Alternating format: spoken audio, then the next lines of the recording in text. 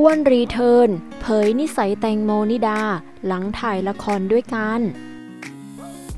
เชื่อได้ว่าหากพูดถึงละครเรื่องใบไม้ที่ปลิดปลิว ต้องไม่มีใครไม่รู้จักกันอย่างแน่นอน เพราะเนื้อเรื่องทั้งแซบและแถมเต็มไปด้วยนักแสดงมากคุณภาพกันมากมายเลยทีเดียว อาทิ ใบเฟิร์นพิมชนก พุทธพุทธิชัย ยิปซีคีรติ แซมยุรนันท์อ้วนรีเทิร์นและแตงโมนิดา ซึ่งในเรื่องนี้แตงโมต้องมารับบทดังรอง ภรรยาสุดร้ายที่คอยตามราวี ตามเหวี่ยงสามีอยู่ตลอด ล่าสุดพี่อ้วนก็ได้ออกมาเผยภาพคู่กับแตงโม และชื่นชมว่าแตงโมเป็นรังรองได้สมบูรณ์แบบสุดๆ และถึงจะเป็นตัวร้ายแต่นิสัยจริง ๆ นั้นน่ารักมากๆ โดยได้ระบุข้อความไว้ว่า รังรอง แตงโมนางเป็นได้สมบูรณ์แบบขี้วีน กดขี่ดูถูกคน ดเสียงอารวาดผัว